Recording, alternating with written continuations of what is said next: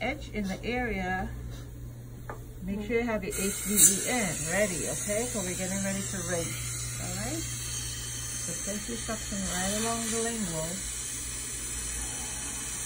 So he's gonna rinse all of that off, okay? Oh, Perfect. And then you come right out, and he's gonna dry the tooth off. So we're getting ready to isolate the tooth, okay?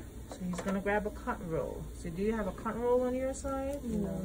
It's okay. So we have one right here.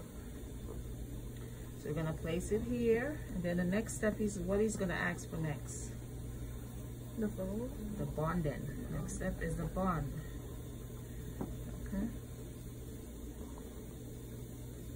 So once you give him a little bit of the bond, perfect.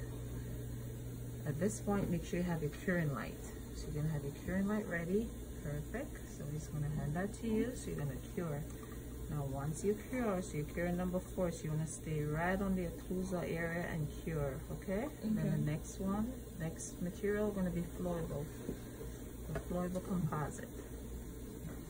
So you're gonna handle. So once he gets the flowable composite, make sure you have your curing light. Assistants are always busy, always busy. So he's gonna give you this flowable back in that hand. And then once you once you finish curing, the next one is going to be the packable composite.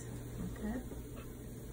So you're going to hand him the packable composite. Perfect. So always hand the material the way he's going to use it. Okay. So if he's going to use it this way, you hand him that way, and make sure you turn your composite upward if you're using the maxillary area. And at this point, Turn not yet, he's going to pack, and then make sure you have a two by two in your hand. Okay. So he's going to be packing with a condenser. Then while he's packing, make sure you have your curing light. Gonna cure once again. Then he's going to ask for some more composites. Ask- He's going to keep asking you for more composite, okay? And then beep, beep, beep. Then we're going to get some more packable composite. And then we're going to grab it, and then he's going to place a little bit more. He's going to hand it back to you.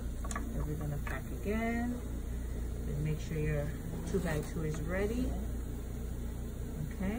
And you're not going to cure, you're to cure in a few minutes, okay? So he's going to use the ball burnisher and finish everything out, making sure that the occlusal surface looks just like the patient's natural dentition. So just wipe here and wipe again. And then the final cure. And you're to cure. The final cure, maybe 20 seconds, beep, beep, beep, beep, beep, and that's it. And then we're going to check the patient's bite. So we're going to have the patient bite down several times, tap, tap, mm-hmm. tap. Now, once the pa- you're checking the patient's bite, you have to have your HVE on.